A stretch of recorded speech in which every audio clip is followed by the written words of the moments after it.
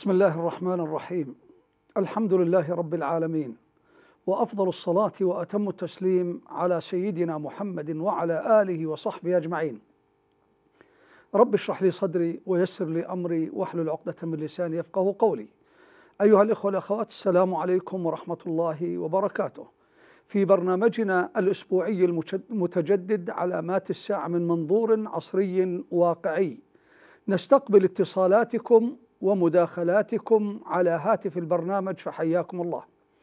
أيها الإخوة والأخوات من علامات الساعة التي أخبرنا عنها النبي صلى الله عليه وسلم قبل 1436 عام الشذوذ الجنسي اللواط اكتفاء الرجال بالرجال والنساء بالنساء وفي حلقة سابقة تكلمنا عن مقدمة ماذا حل بقوم لوط وما كان مصيرهم. وهذه قرى قوم لوط البحر الميت ليست ببعيدة عنا. الكل يراها وينظر إليها.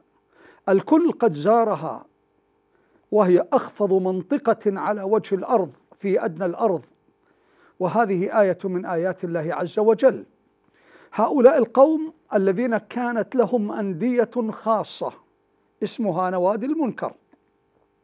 كما أخبرنا النبي صلى الله عليه وسلم كما أخبرنا القرآن الكريم عندما قال وتأتون في ناديكم المنكر. أيها الإخوة والأخوات نذكر بعضا من أحاديث النبي صلى الله عليه وسلم ثم نطبقها في الواقع. يقول النبي صلى الله عليه وسلم إذا استحلت أمتي خمسا فعليهم الدمار. لاحظ خمسا استحلت يعني حرام. الآن يصبح في عصرنا الحاضر حلال. الحرام يستحل. الحلال يحرم. إذا فعلت أمتي إذا استحلت أمتي خمسا فعليهم الدمار. إذا ظهر التلاعن والتلاعن الآن موجود. الصغير والكبير. وشرب وشربوا الخمور وهي مسموح بها. ولبسوا الحرير للرجال. واتخذوا القيان المغنيات. واكتفى الرجال بالرجال والنساء بالنساء. وراح أعطي إحصائيات رهيبة جدا.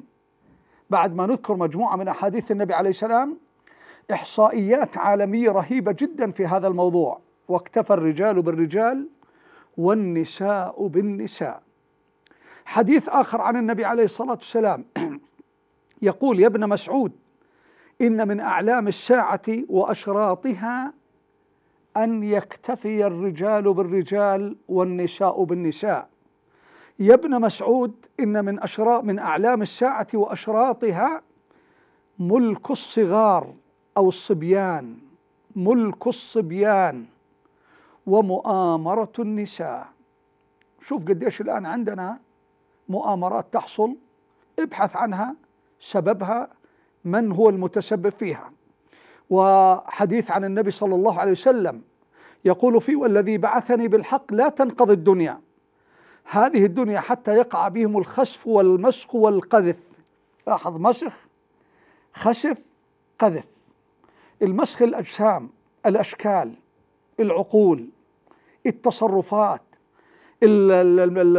الخسف بسبب المعاصي كما حصل مع قوم لوط.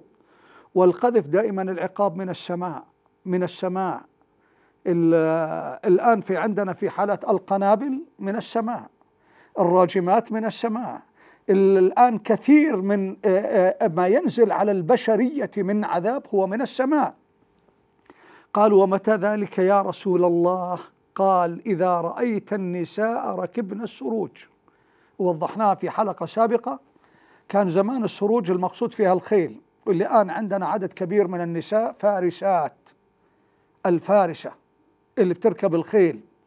طبعا من الذي يدربها؟ من الذي يعلمها؟ من كذا إلى غير ذلك. وكثرت القينات المغنيات والآن راح نتكلم عنها إن شاء الله. قالوا وفشت شهادة الزور وشرب المسلمون في آنية أهل الشرك اليهود والنصارى الذهب والفضة. واستغنى الرجال بالرجال والنساء بالنساء. لاحظ التركيز على إيش؟ على الشذوذ الجنسي. وورد حديث عن النبي صلى الله عليه وسلم يقول فيه لتنقضن عرى الإسلام عروة عروة. حلقة حلقة. وهاي الآن قاعدين بيحاولوا ينقضوا فيها. في أكثر من دولة. التآمر العالمي اللي موجود الآن إيجاد قضايا تثور الناس ضد الإسلام والمسلمين. هذا كله حلقات حلقات. من الذي يقوم فيها؟ عرب ومسلمين. هم الآن الهدف. حتى الآن عملية نقض لعرى الإسلام. حتى يقول النبي صلى الله عليه وسلم لا يقول عبد مهما يعني ما يسجلش يتكلم. اسكت. وإذا تكلمت أنت إرهابي. اسكت. أنت متآمر. اسكت. أنت مش وطني. اسكت. أنت بدك تخرب البلد. اسكت. هذا هذا الآن اللي موجود اللي بدأنا نلاحظ الآن بوادره. ولتركبن سنن من الأمم قبلكم حذو النعل بالنعل. لا تخطئون طريقهم ولا يخطئنكم حتى لو أن أحدهم أو كان قبلكم من الأمم أمة يأكلون العذرة البول البراز رطبا أو يابسة لأكلتموها. تقليد اعمى لفرنسا تقليد اعمى لامريكا تقليد اعمى لليهود تقليد اعمى لكل مشرك.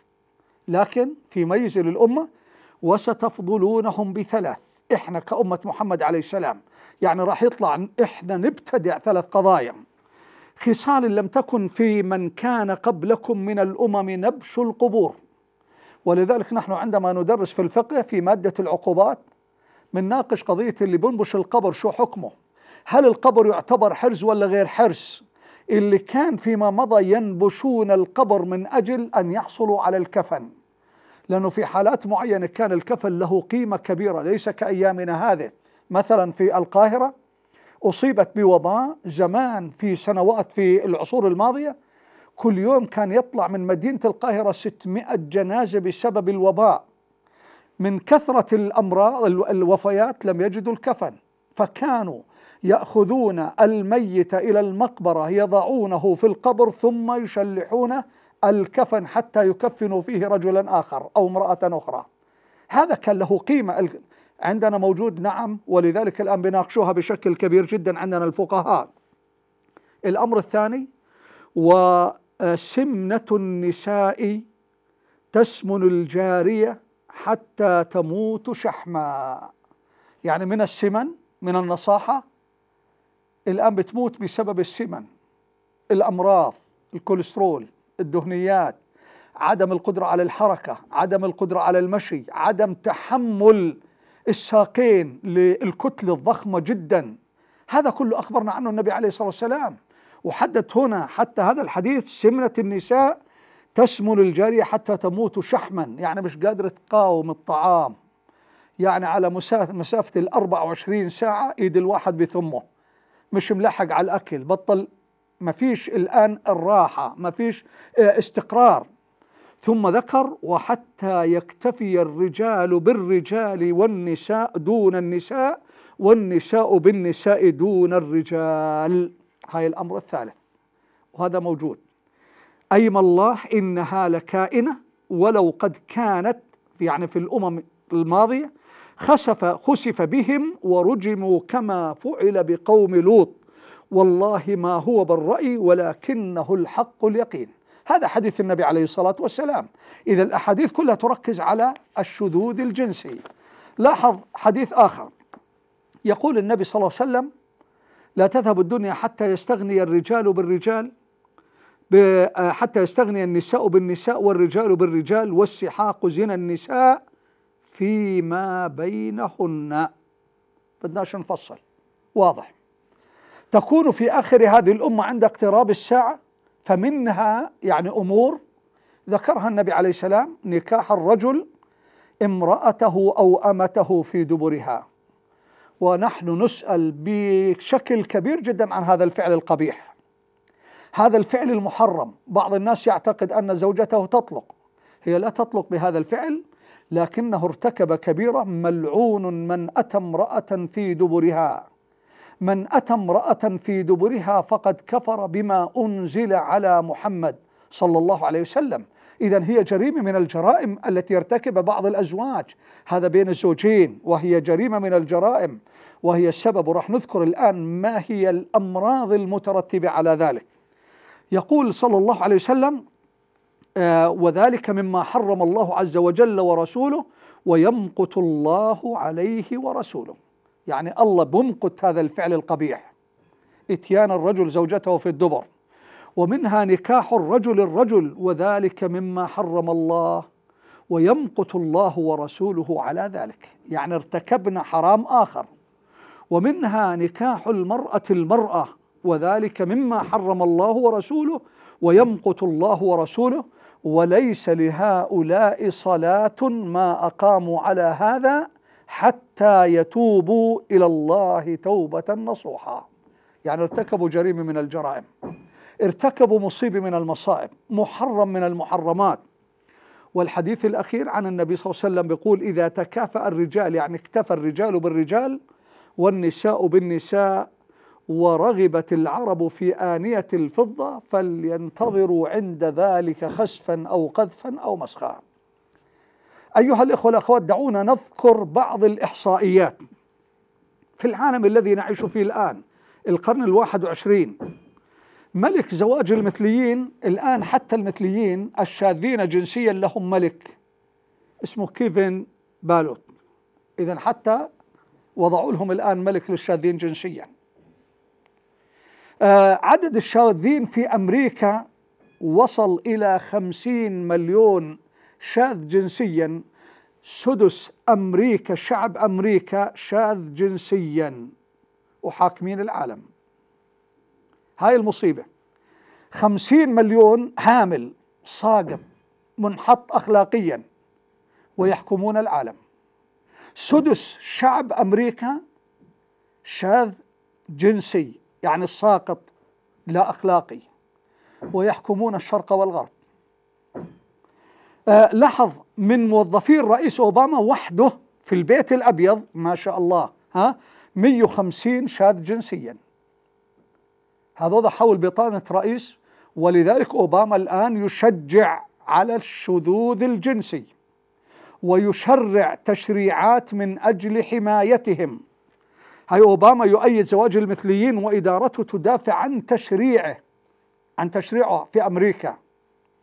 وزير خارجية ألمانيا ما شاء الله وزير خارجية ألمانيا يتزوج من صديقه بحضور دعا عدد المدعوين عشرين شخص. وزير خارجية ألمانيا. أربعة أربعة عشر دولة أباحت في تشريعاتها في قوانينها الزواج المثلي الشذوذ الجنسي يعني بمعنى رجل يتزوج رجل جائز امرأة تتزوج امرأة جائز عندهم في القانون في التشريع التشريع هذه الدول اللي موجودة الآن نسبة العدوى من خلال الشذوذ الجنسي للإيدز في إنجلترا 89% يعني من المصابين بالأمراض الإيدز 89% سببها الشذوذ الجنسي في بريطانيا. و73% في أمريكا. هذه مصائب الآن سببها الشذوذ الجنسي. تصور لما 89% كل 100 مريض بالإيدز منهم 89 سببها الشذوذ الجنسي.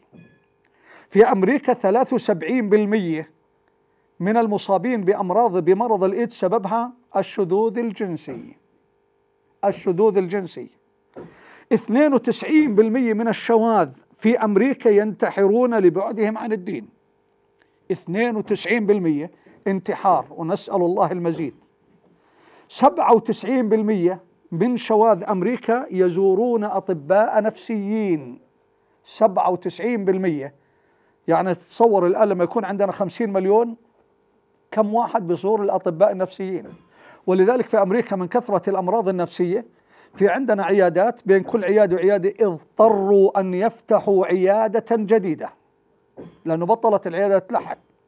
المستشفيات التي تعالج الأمراض النفسية المستشفى أقل مستشفى عندهم مثل المدينة الطبية عندنا هنا في الأردن.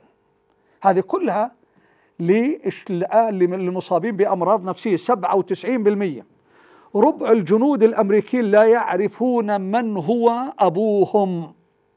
يعني 25% ربع الجنود الأمريكان ربع. 25 مين أبوه؟ مش عارف مين أبوه. ولذلك هناك عندهم مصيبة وهذا سبب من أسباب الأمراض النفسية. لما بيبدأ يسأل وين أبوي؟ من هو أبي؟ أين أبي؟ وين ذهب؟ أنا مين؟ مش عارفين. لا إجابة لا إجابة. 26% من الأمراض في أمريكا هي جنسية. هذا على مستوى إذا بدنا نأخذ آه الايدز السرطان السل إلى غيره. يعني نسبة أكثر من الآن آه 26% سببها أمراض جنسية.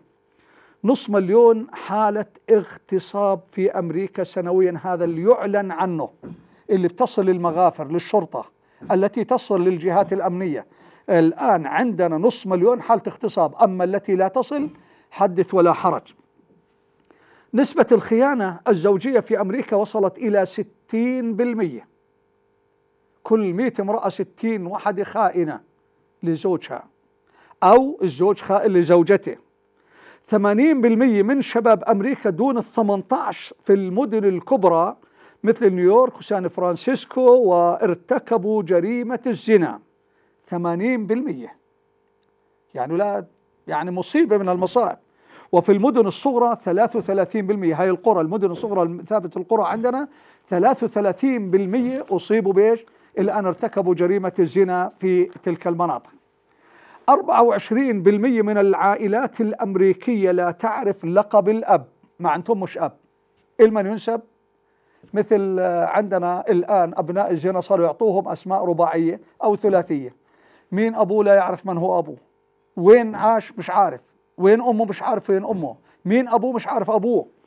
آه لا تعرف لقب الأب ولا يوجد فيها أب أصلا لأن حملت من السفاح.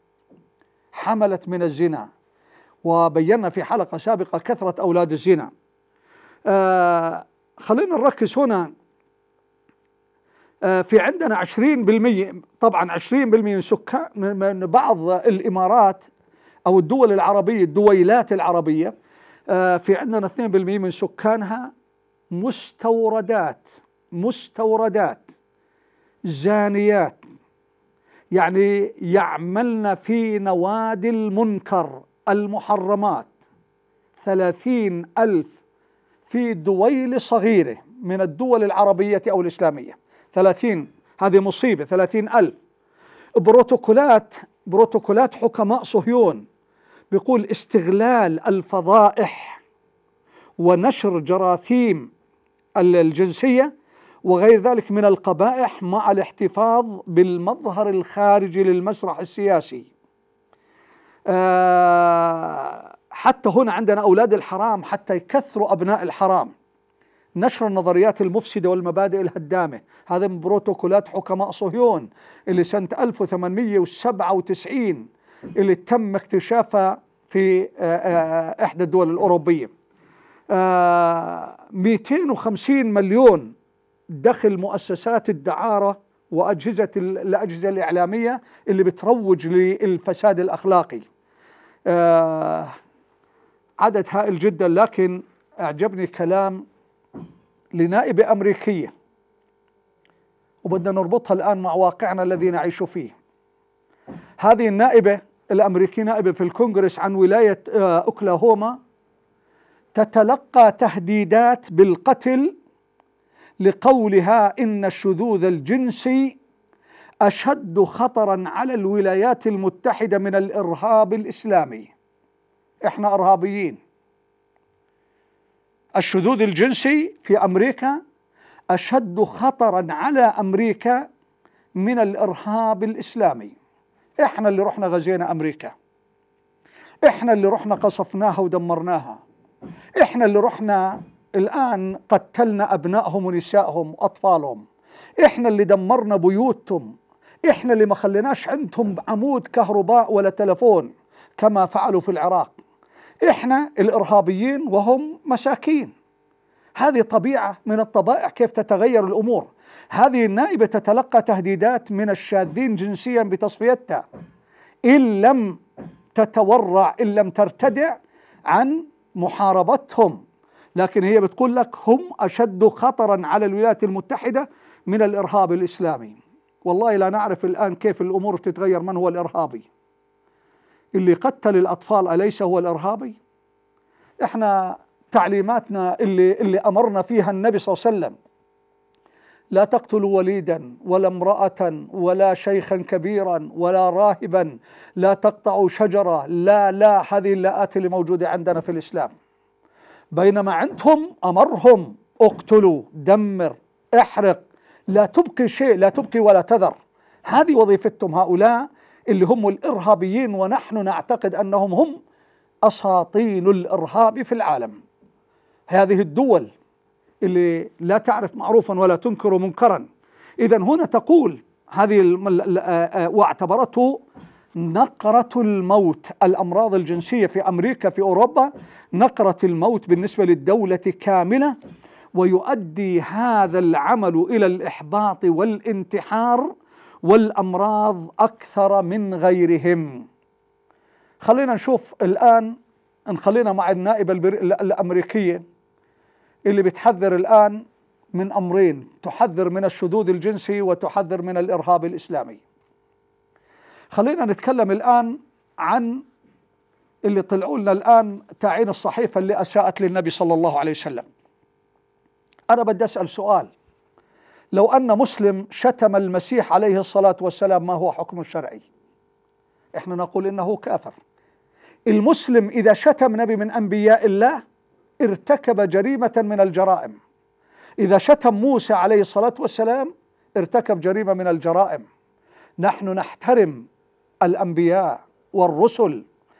أيا كان عددهم 124 ألف كلهم نؤمن بهم. ونؤمن بالرسل الذين ذكرهم القرآن الذين قصهم. وكل نبي وإن لم يقصصه إذا ثبت عندنا بدليل أنه نبي. لكن هؤلاء لا يعرفون وأنا بدي أذكر الآن بعض القضايا اللي موجودة لهؤلاء الإرهابيين. أنا أطلق أنا أسميهم أنهم هم الإرهابيون. هؤلاء الذين يصطنعون المشاكل لإعادة احتلال بلادنا.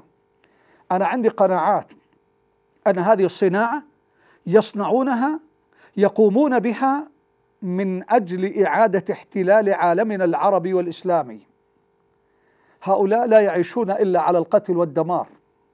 من هو الارهابي عندما الآن نذكر بعض القضايا؟ آه هل الآن يعتبر عندنا آه آه البابا اللي قدم استقالته؟ البابا الماضي اللي قدم استقالته لأول مرة بتاريخ الكنيسة تقريبا. لماذا قدم استقالته؟ ما هي الأسباب؟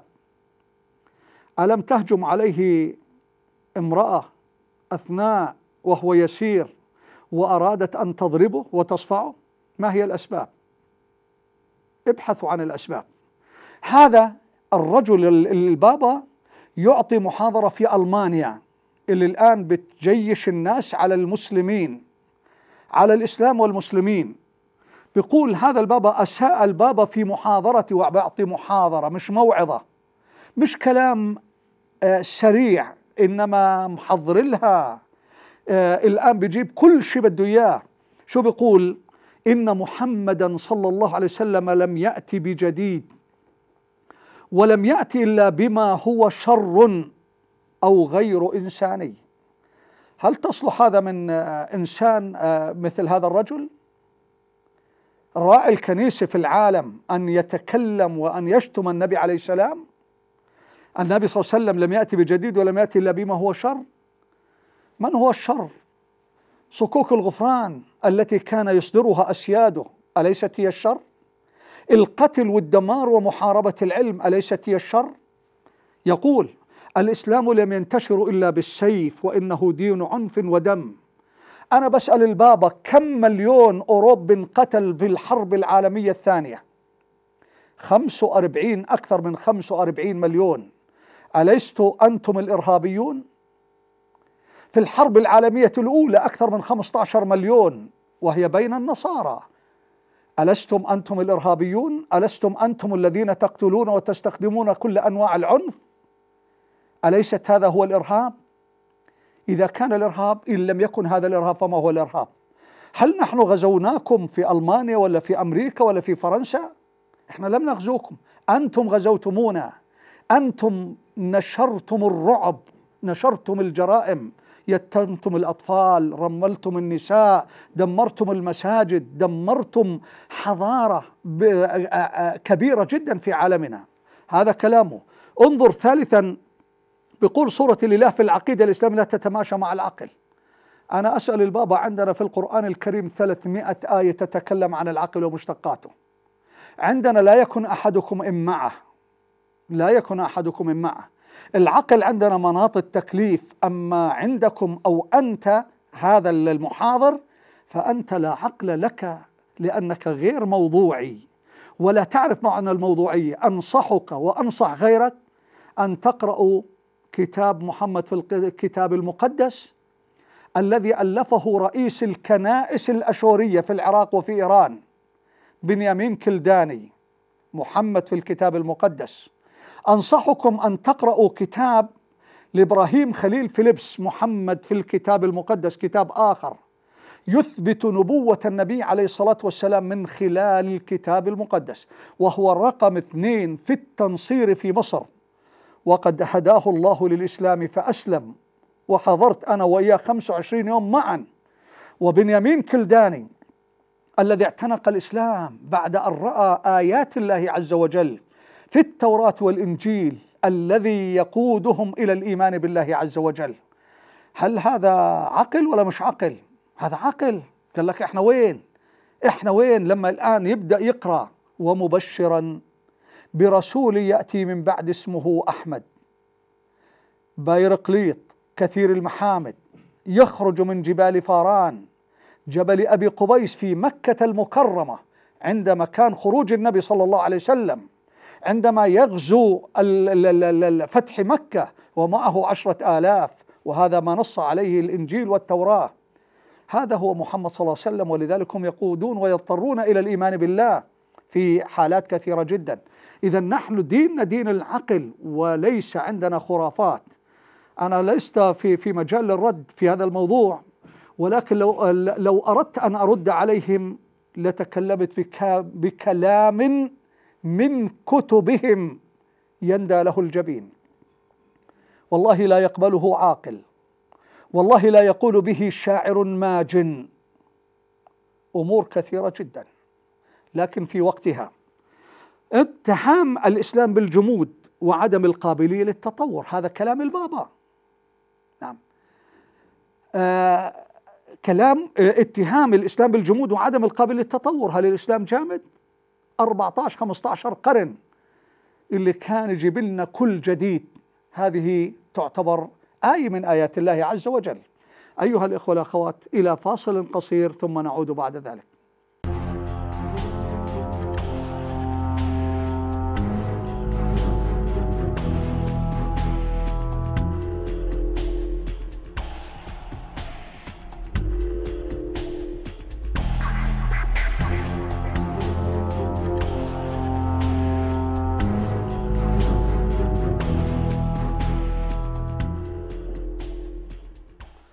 أيها الإخوة والأخوات نعود إلى آه، كلام زعماء العالم الغربي في حقدهم على النبي صلى الله عليه وسلم وعلى الإسلام. تصور برلسكوني برلسكوني رئيس وزراء إيطاليا السابق ورئيس إيطاليا. هذا الرجل اللي حكم عليه بسبب الساقطات اللي اعتدى على بنات قاصرات. برلسكوني يقول وصف الإسلام بأنه دين رجعي دين إرهاب. إسلامنا دين رجعي. أما إيطاليا عندما احتلت ليبيا ودمرت القرى وأحرقتها وأحرقت المحاصيل وقتلت وذبحت هذا ليسوا إرهابيين. لما قتلوا آلاف عشرات الآلاف في ليبيا هؤلاء ليسوا إرهابيين. لكن إحنا كمسلمين إرهابيين نحن غزوناهم. آه رئيس وزراء بريطانيا عندما زار البصرة أثناء بعد احتلال العراق بيقول وأقام قداسا مع الجنود وأنشدوا جميعا. لاحظ نشيد رئيس الوزراء مع الجنود مع القساوسة؟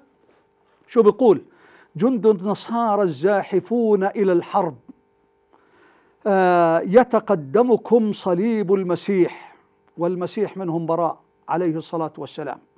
وبظهور آية النصر هربت كتائب الشياطين المسلمين يعني. إخوة نمشي على خطى سار عليها القديسون. وحدة الأمل والعقيدة. هذا كلام رئيس وزراء بريطانيا.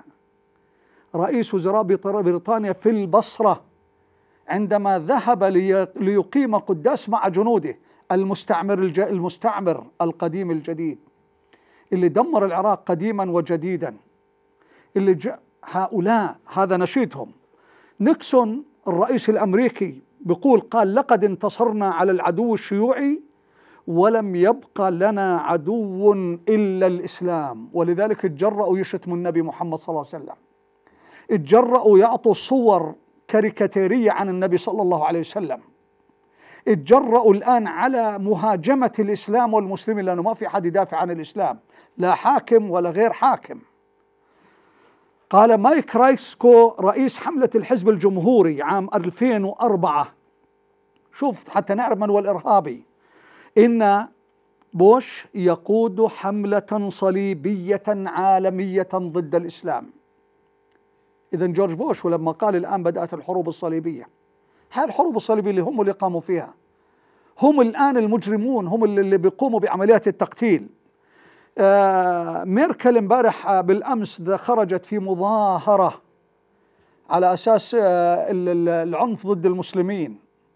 أو من أجل الآن أنه المسلمين هنا الديانة الثانية في فرنسا وفي ألمانيا الإسلام شاءوا أم أبوا لكن هذه ميركل شو بتقول؟ سبق وأن كرمت رسام الكاريكاتير الذي أساء للنبي صلى الله عليه وسلم للنبي محمد بنفس المجلة. قدمت له هدية. يقولون بأفواههم ما ليس في قلوبهم. خروج نتنياهو ما شاء الله ارهابي غزة اللي قتل اللي دمر اللي أحياء كاملة مسحها في غزة اللي رمل النساء والأطفال الآن خارج من أجل أربع يهود. من قتل أربع يهود؟ الآن هذا خرج الآن على أساس محاربة الإرهاب. طب وين أنت يا؟ وين كنتوا الآن العالم المسيرات؟ أين كانت من تدمير غزة؟ أين هي الآن من تدمير العراق وسوريا؟ هؤلاء لأنهم مسلمين. ما دام مسلم لا قيمة لدمه. لكن لو كان هؤلاء غير مسلمين لقامت الدنيا.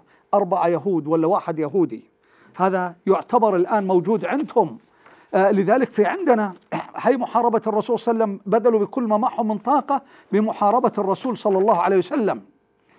لذلك ما في واحد هاجم النبي صلى الله عليه وسلم إلا وابتلاه الله في الدنيا قبل الآخرة. أنا بدي أضرب بعض النماذج على ذلك. يوم من الأيام ذكرها الإمام ابن كثير رحمه الله وابن حجر العسقلاني. أحد آه، أمراء التتار اللي احتلوا بغداد اللي عاثوا فيها فساد. هذا الأمير التتاري تنصر فجاء إليه وفد من النصارى. ووقع أحدهم بعرض النبي بدأ يشتم النبي صلى الله عليه وسلم. لما بدأ يشتم النبي عليه السلام هذا الأمير التتري عنده كلب صيد. انطلق كلب الصيد على شاتم النبي صلى الله عليه وسلم. انقض عليه فدفعوه ثم انقض عليه مرة أخرى حتى أخرج القصب الهوائي بفم الكلب فمات. شو بيقول ابن كثير وابن حجر؟ بيقول أسلم في ذلك اليوم أربعين ألفا من التتار أو من الموجودين. وكانت آية من آيات الله نصرة للنبي صلى الله عليه وسلم. لذلك الرجل اللي أساء للنبي عليه الصلاة والسلام اعتنق الإسلام قبل فترة اللي تاع الدنمارك لما نشر الصور قال لك يا جماعة أنا إحنا بننتقد آه، عدد كبير من الناس ما حد بيتحرك. ليش لما إحنا انتقدنا النبي عليه السلام تحرك العالم الإسلامي كامل؟ فلما بدأ يقرأ عن الإسلام اعتنق الإسلام وزار المدينة المنورة واعتذر من النبي صلى الله عليه وسلم. اليوم عندنا ما شاء الله في عالمنا العربي إذا شتمت واحد مسؤول قامت الدنيا ولم تقعد. أما النبي عليه السلام ولا حركة. شتيمة الله عز وجل لا حركة. طبعوا على هذا الأمر. أمر آخر لهؤلاء آه عتبة بن أبي لهب. كان متزوج ابنة النبي صلى الله عليه وسلم. فبعد الإسلام طلب والد أبو لهب وأم لهب جميلة آه من ابنها أن يطلق ابنة النبي صلى الله عليه وسلم. وطلب أبو لهب أن يقع في النبي يعني يشتم النبي صلى الله عليه وسلم. الأخت هبة تفضلي. تفضلي أخت هبة. دكتور. أهلا. أهلا فيك. دكتور بس معلش عشان بخصوص الإساءة للنبي صلى الله عليه وسلم. يعني أنا مستغرب بتريليونات الدولارات آه، اصرفوها على ليلة رأس السنة مشان مفرقعات. أما لما أساءوا لسيدنا محمد صلى الله عليه وسلم فيش حدا تحرك كأنها رجعت آه، نامت الناس. وغير هيك يعني لما زكي بن رشيد آه، آه، يعني حكى وعبر عن رأيه في إنه باللي صار بخصوص جماعة الإخوان يعني قامت الدنيا وما قعدت يعني أما لما سبوا على سيد الخلق وسيد الأمة الإسلامية يعني فيش حدا تحرك ولا في صوت لا من كبير ولا من صغير. نعم. يعني أنا مستغربه ليش ليش هيك الأمة؟ والله يا دكتور ما خلى أمريكا قوية إلا لأنه إحنا متخليين عن إسلامنا. نعم نعم. الله وهذا يجزيك التخاذل منا يعني ويسامحنا رسول الله صلى الله عليه وسلم يعني والله تقصير منا يعني. نعم نعم. مش عارفة أحكي أكثر من هيك يعني. الله يجزيك الله الخير يبارك فيك الله يبارك فيك. الله يبارك فيك. حقيقة نعم آه الآن آه لو كانت الإساءة لشخص من الأشخاص لتحرك الع- العالم العربي كله. وهذا الآن على شغلات بسيطة جدا فيه بتحركة كاملة. نعم. نعم. آه لذلك نعم. آه لذلك عندنا حقيقة لما واحد بيتكلم على مسؤول المسؤول آه كل أجهزة الدولة تتحرك لكن للنبي صلى الله عليه وسلم لا حركة لأنهم مطبعون طبعوهم تطبيع كرهوهم بالنبي عليه السلام أرهبوهم جعلوا من يتمسك بدين إرهابي إلى غير ذلك من الأمور. حقيقة هذا الشيء موجود لكن دعونا اللي بيشتم النبي عليه السلام له عقوبة في الدنيا قبل الآخرة إن شاء الله. عتبة بن أبي لهب هذا الرجل لما شتم النبي عليه السلام ووقع فيه وكفر وطلق ابنته استمر في أذان النبي عليه السلام فالنبي عليه السلام قال اللهم سلط عليه كلبا من كلابك. هذا الرجل عندما جاء إلى الأردن عتبة بن أبي لهب آه سواء كان في جبال الشرى أو في الغويرية في الزرقاء وأكثر غالبا هو في آه آه، في الزرقاء الأخ آه، فرح الحماد. الأخت فرح تفضلي. فرج فرج. فرج الأخ فرج. الأخ فرج تفضل. الله يعطيك العافية يا شيخ. حياك الله. السلام عليكم. عليكم السلام ورحمة الله. آه، سيدي الشيخ الله سبحانه وتعالى يقول في محكم كتابه العزيز إن الله يدافع عن الذين آمنوا. نعم. وفي سورة محمد صلى الله عليه وسلم يقول الله سبحانه وتعالى ذلك بأن الله مولى الذين آمنوا وأن الكافرين لا, لا مولى. لهم. صدق الله العظيم. نعم. أنا بدي أحكي بدي أختصر كثير لكن بدي أ- أحكي لل- للجماعة هذول ال- ال- ال- اليهود وأعوانهم والنصارى المتشددين. نعم. بأنه بس يلبس يعني يحطوا هاي الكلمات حلق بإذانهم. ويفطنوا كويس بيشوفوا مين اللي كان في المسيرة معهم امبارح. نعم. اللي كان معهم شارك في المسيرة الملك عبد الله ابن الحسين ملك المملكة الأردنية الهاشمية. هذا الرسول اللي هم قاعدين يسيئوا له هو جده. نعم. الملك عبد الله قاعد ينفذ وصايا الرسول صلى الله عليه وسلم. الرسول صلى الله عليه وسلم عندما سئل قال ال- الله يجزيك الخير. ال- ال- الرسالة وصلت. الله يجزيك الخير. بارك الله فيك. حقيقة أخواننا نعم هذا الرجل الرجل اللي هو عتبة بن أبي لهب لما دعا عليه النبي عليه الصلاة والسلام أتى إلى الأردن هنا وسمع صوت أصوات الأسود فمن شدة الخوف يعني لم يستطع أن ينام فوضعوه إلى داخل على ظهر كنيسة على ظهر كنيسة وأحاطوا به من كل جانب. فما كان من الأسد إلا بدأ يشم بهم واحد تلو الآخر. ثم قفز إلى ظهر الكنيسة فالتقم رأسه. رأس هذا اللي هو عتبة بن أبي لهب اللي كان يقول والله ما أظن إلا أن دعوة محمد صلى الله عليه وسلم قد أصابتني. دعوة النبي عليه السلام أصابت هذا الفاجر الذي شتم النبي صلى الله عليه وسلم. إذا عندنا نعم الله يدافع عن الذين آمنوا. الله عز وجل هو مولى الذين آمنوا وأن الكافرين لا مولى لهم. هذه آية من آيات الله عز وجل التي لابد آه، أن آه، ينصر الله عز وجل هذا الدين بشكل كبير جدا. أما حقيقة بعض ال ال أحد الإخوة اللي ذكر أو أخت ذكرت عن بعض الدول أنفقوا ملايين. نعم هسه راح نتكلم عن الغناء والرقص. الغناء والرقص نعم إحنا عندنا ملايين تنفق على الغناء والرقص والألعاب النارية وإلى غير ذلك وهذا كلها ذكرها النبي صلى الله عليه وسلم لكن حقيقة أنا أريد أن أذكر في قضية عندنا في الشذوذ الجنسي في الأردن. مجموعة في الأردن تعتزم إشهار أول مؤتمر أول مؤتمر أردني للشاذين جنسيا من الذكور. هذه مسؤولية الحكومة. هؤلاء يعتبروا من أسقط الناس.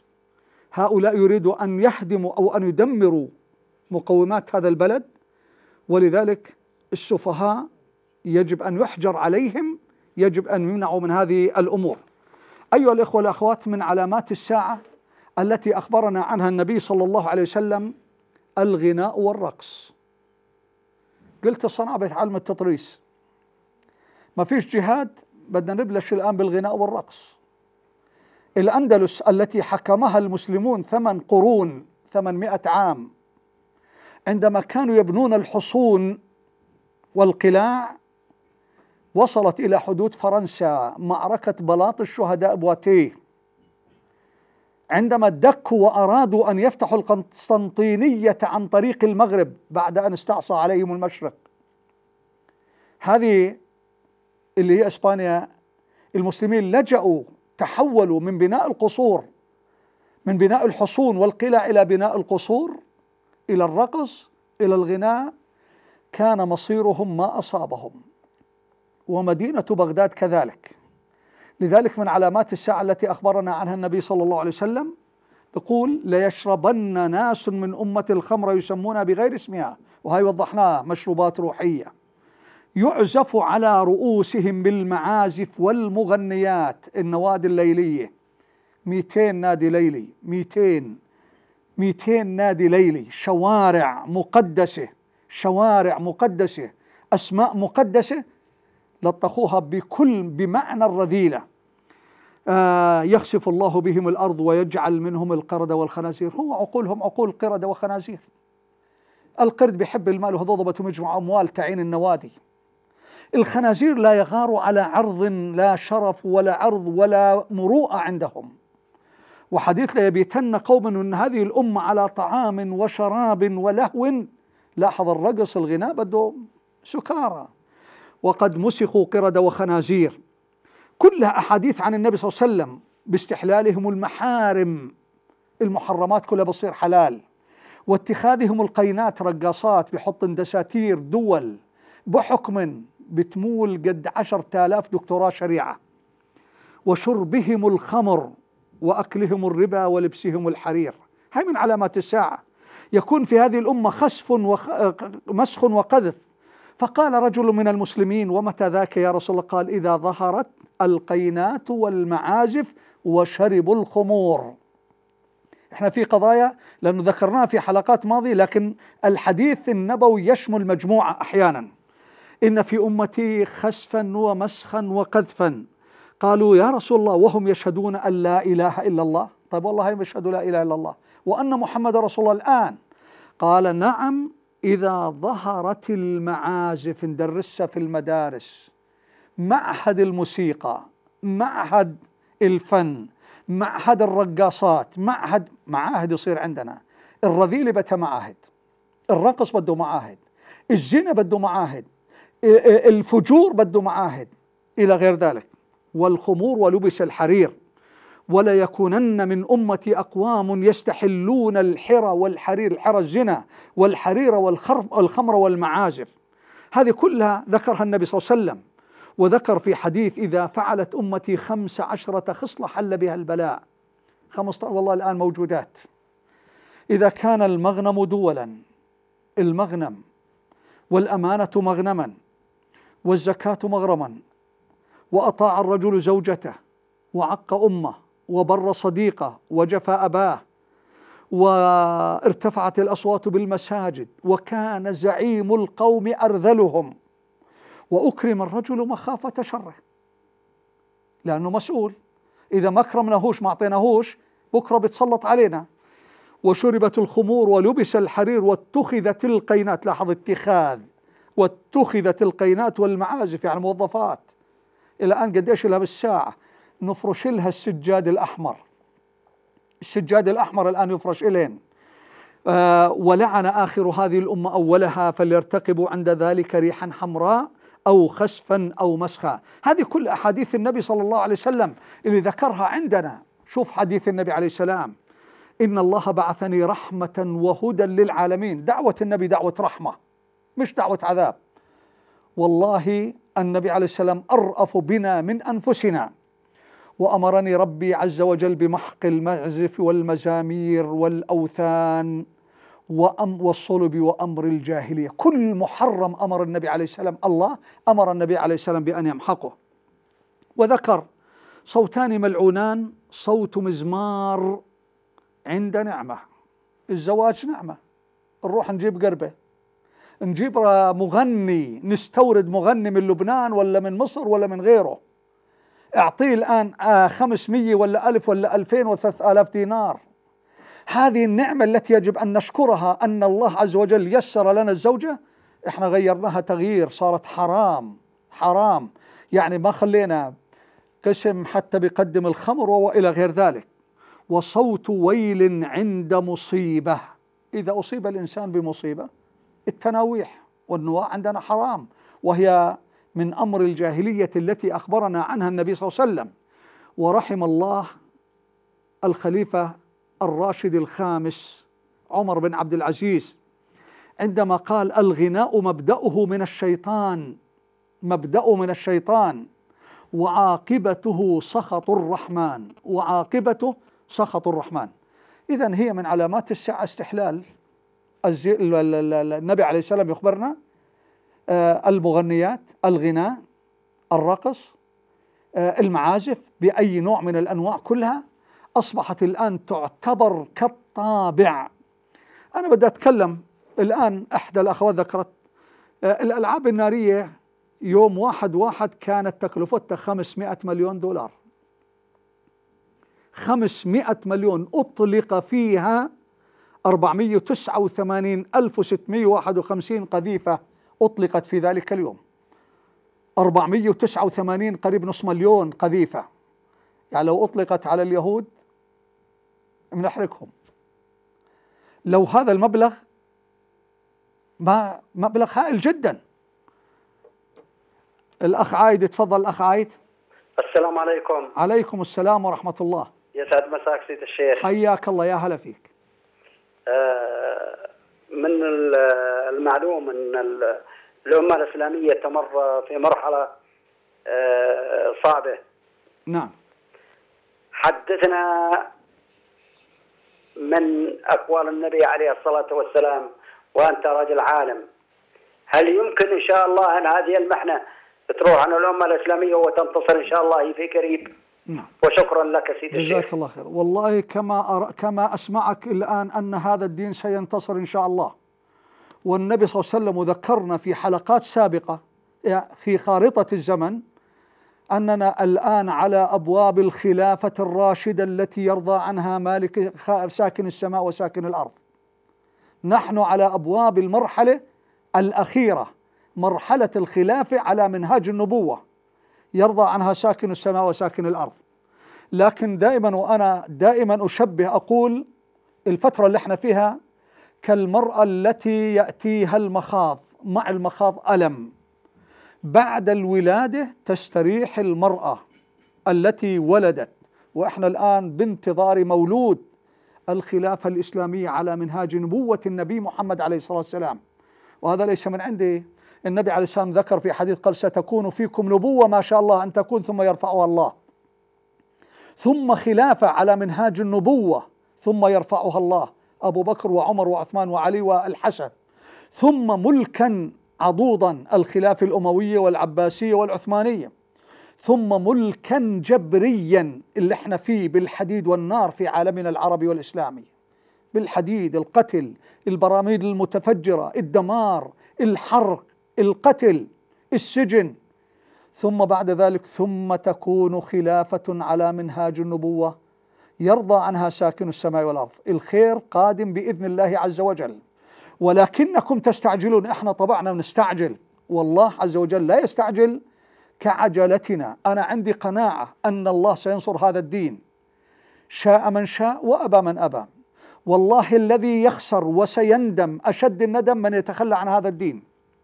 وسيخسر وسيندم وست وسيكون في مزابل التاريخ. من حارب الإسلام في يوم من الأيام سيلعن كما لعن أبو رغال وسيرجم كما رجم أبو رغال.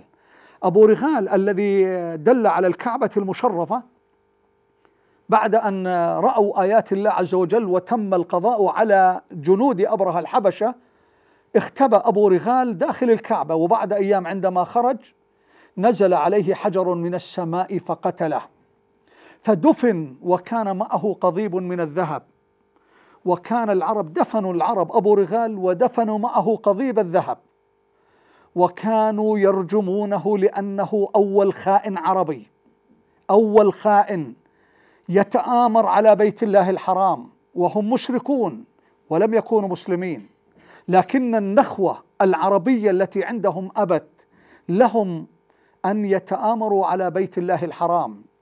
فلما مر النبي صلى الله عليه وسلم بقال هذا قبر أبو رغال وقد دفن معه قضيب من الذهب فافتدره الصحابة بأسيافهم. استخرجوا القضيب أخذوه أخذوا هذا القضيب اللي اندفن معه. هذا ثمن خيانته ثمن عمالته. اللي كان يحطه الآن على لغتنا عصاة المرشالية الآن اللي خان الكعبة المشرفة. اللي بيخون دينه سيلفظه التاريخ وسيرجم كما رجم إبليس كما أننا نرجم إبليس في كل عام. في منى بكل يوم لمدة أربعة أيام الذين يحاربون الإسلام سيأتي يوم يرجموا بإذن الله عز وجل. كما يرجم أبو رغال وكما رجم إبليس. إذا الخير موجود بإذن الله تعالى. دعونا أيها الإخوة الأخوات الآن إلى اللي هو الغناء اللي, اللي الآن مكلف بشكل كبير جدا. 500 مليون تكلفة الألعاب النارية وحدها 489651 قذيفة أطلقت في ذلك اليوم. دول كثيرة من اليابان إلى كاليفورنيا. شوفوا الغناء أم كلثوم والله أنا سمعتها بأذن المذيع في الأردن سنة السبعة وستين. وهم يقولون تقدم يا جيشنا أم كلثوم أمامكم في تل أبيب. وفي سوريا طائرة المج تتحدى القدر الإلهي. وفي مصر أسكر الطيارون وتم تدمير سلاح الجو المصري كامل حتى يتقدم اليهود. أم كلثوم أمامكم. تعليم الغناء والرقص الآن اللي موجود عندنا والموسيقى في المدارس. حتى الآن بدأ شباب يروح يدرسوا البنات كيف ترقص. يعني ما ظلش اللي هو يرقصها يرقص وياها هذا في مدارسنا إحنا في الأردن هنا وهذه تعتبر جريمة من الجرائم. وفي عندنا مدارس الآن تم تعيين مدرسين موسيقى. كيف بده يعلمها الموسيقى والرقص وإلى غير ذلك. مهرجانات الغناء جرش الفحيص هذا في الأردن في كل دولة من الدول مهرجانات للغناء. الرقاصة المغنية الآن يفرش لها بالسجاد الأحمر. على حساب الضريبة التي يدفعها المواطن الأردني على حساب لقمة الطعام على حساب المديونية. المديونية اللي الآن بدأت تعصف ببلادنا. في هذا العام الأردن سيستدين أكثر من ثمان مليارات أكثر من ثمان مليارات من أجل سداد قروض ربوية وفوائد ربوية. وإحنا بنروح ندفع لمهرجان جرش والرقاصات وإلى غير ذلك من الأمور. آه بروتوكولات حكماء صهيون اللي بتركز على تدمير الأخلاق. إلى غير ذلك من الأمور. أيها الإخوة الأخوات إلى لقائنا القادم نستودعكم الله عز وجل الذي لا تضيع ودائعه. والسلام عليكم ورحمة الله وبركاته.